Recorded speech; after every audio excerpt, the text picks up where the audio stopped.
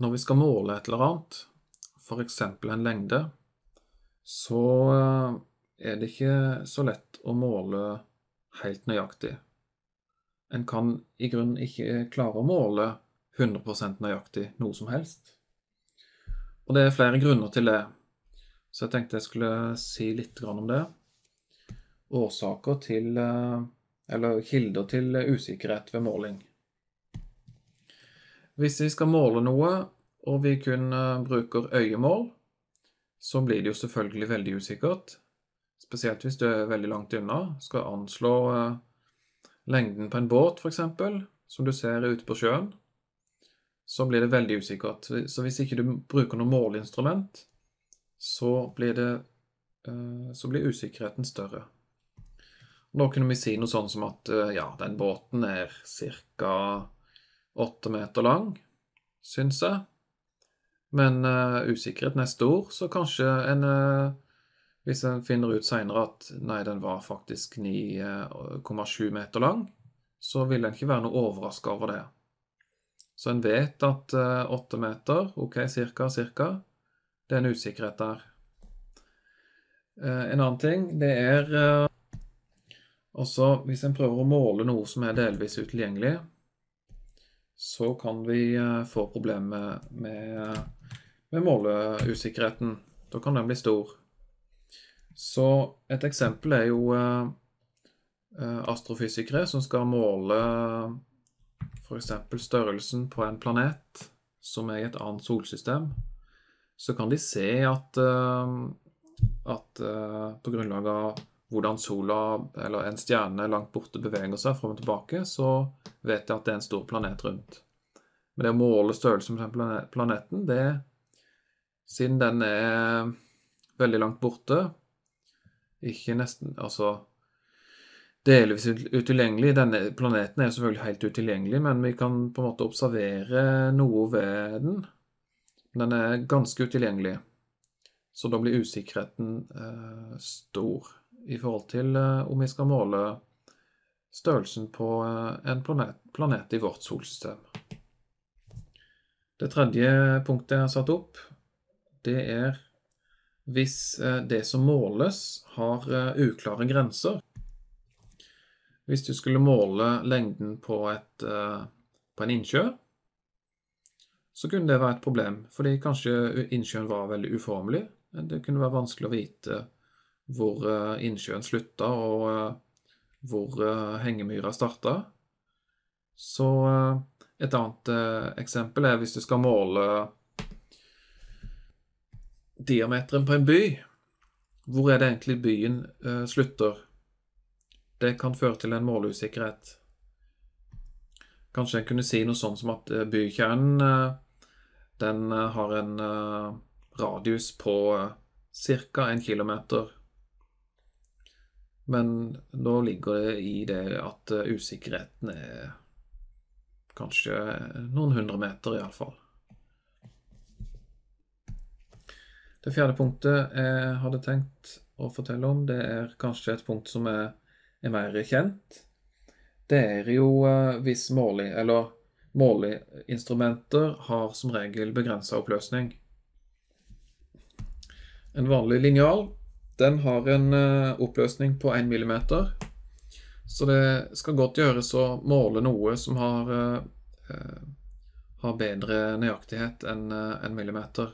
Det er klart Du kan se ned på den, og så kan du måle ca. opp til en halv millimeter, kanskje, eller en femtedels millimeter hvis du ser veldig godt og er veldig nøyaktig med å se hvor du måler, men ikke noe mer enn det. Så du har automatisk en målsikkerhet med en gang du måler noe med en vanlig linjal. Det kunne hende at uh, måleinstrumentet ditt er litt slitt, at det her er en veldig gammel linjal som uh, har, begynner å få utvaska uh, streker på millimeterne. Eller at hvis du har et gammelt målebånd, at hvis det er veldig gammelt, så kanskje det har tørka og strukket seg litt sammen. Så måleinstrumentet kan være slitt. En annen ting som eh, jeg har eh, satt opp, det er at det du måler, det kan være under forandring. Enten i det du måler, eller kanskje over en periode du, du måler noe i dag, og så kan du kanskje forvente at det er noe annet i morgen. Eller eh, kroppshøyden er vanligvis eh, lengre på morgenen enn om kvelden, fordi ryggsøylen komprimeres i løpet av dagen. Så det kan vi sette opp at det som måles, er i forandring. Det kan føre til usikkerhet. Et siste punkt jeg kan sette opp, det er eh, hvis du er eh, slumsete med hvordan du utfører målingen, så kan det føre til usikkerhet i resultatet. Jeg setter det opp som uvøren bruk av måleinstrumentet. Hvis du er veldig trøtt eller uh, ikke er uh, så veldig nøyaktig, så kan du få en målusikkerhet. måleusikkerhet. Eller til og med en målfeil. Du kan måle helt feil. Så det er klart at de her forskjellige kildene til usikkerhet, det er forskjellige typer feil, eller forskjellige typer kilder. Noen av de kan en gjøre noe med, andre ting kan en ikke gjøre noe med. Men det er veldig fint å være klar over Iallfall alt det her. Og det kan godt hende det er andre kilder òg til usikkerhet som en må være klar over.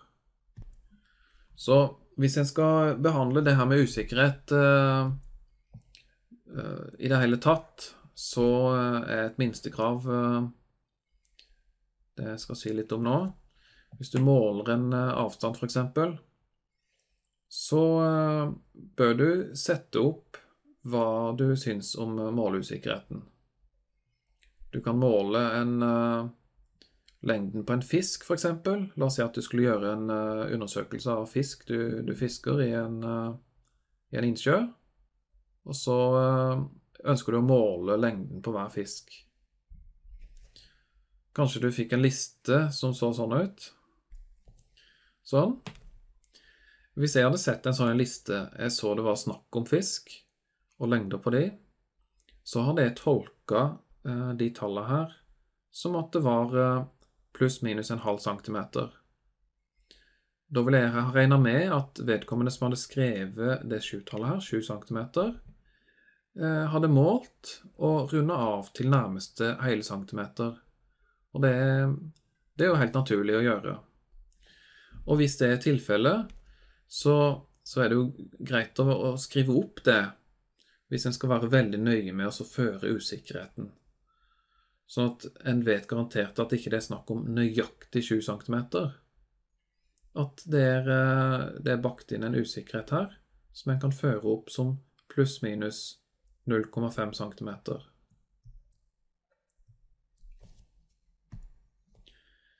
Men eh, det er klart at eh, hvis en var, hvis en var veldig nøye med å måle noe, og fikk Eh, ganske nøyaktig 7 cm, ganske nøyaktig 8 cm, ganske nøyaktig 12 cm. Og en mente at det var feil, og at usikkerheten skulle være såpass stor som pluss-minus 0,5 cm.